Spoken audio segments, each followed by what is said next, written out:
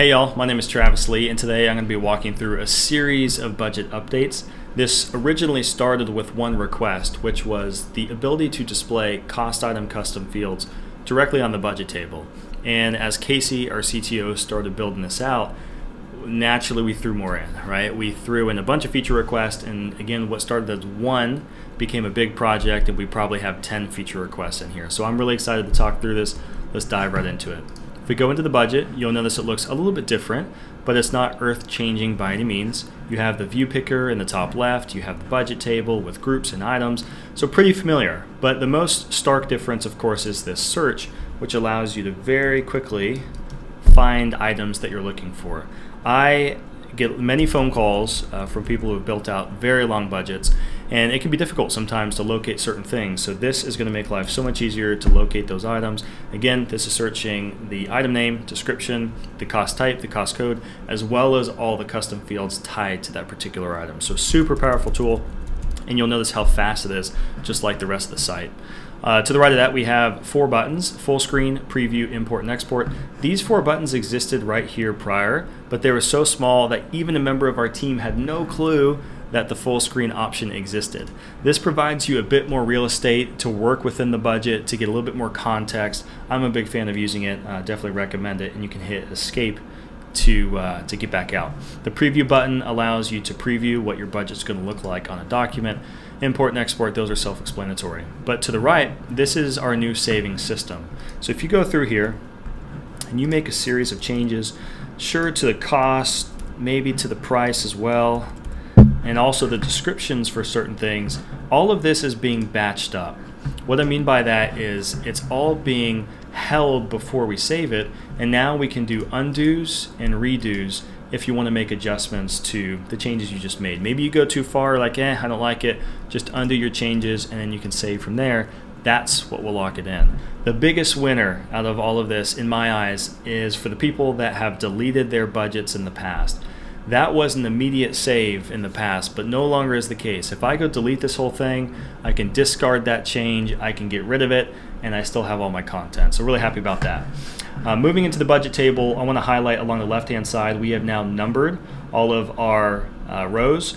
Again, with the search function, just trying to make this easier to find stuff. So instead of saying, you know, locate the framing line, just say look at line 55 and you'll know immediately where to go for that thing. So really big fan of that one. These are still mass action, so if I select everything or if I select a few things, it's going to allow me to apply those mass actions on the right hand side. So definitely a big fan of that. Uh, for the moving tool, so if you move things around with these arrows, we modified this a bit to work a little bit better. You'll notice it's snappier, and the cool thing is it also works with the changes, so I can discard if I move something to the wrong spot. Another thing we did is on hover, you'll notice the blue outline. This is to make it more obvious what's inputable or not.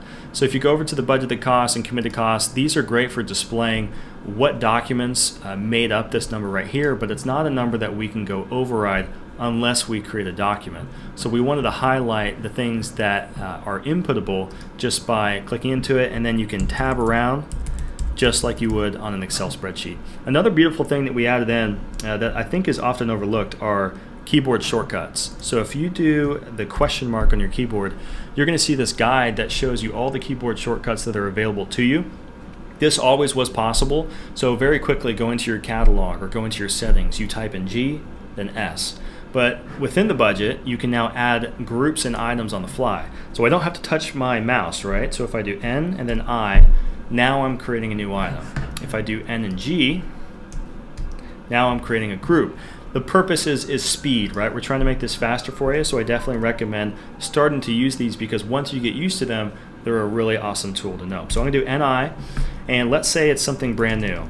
This small change here, you'll notice whenever you create a new item, you're not going to see the pop-up uh, every time you create a new item now. That information is still available to you through show details and you can copy to the catalog on the right hand side, but we wanted it to make it faster so as you add new items, you can just rattle those off very quickly and then save your changes, send it off to the customer and you'll be good to go. Moving on from there, uh, I also wanted to uh, talk about this gear icon, which is honestly where most of the power of this update is going to be found. If you click into here, you'll see along the right hand side, you have this grouping and filters section. where you can change what you're grouping by. The default is by cost group. It's how you build the groups and put the items within it, but we can change it and say, show me everything based off the cost type or the cost code.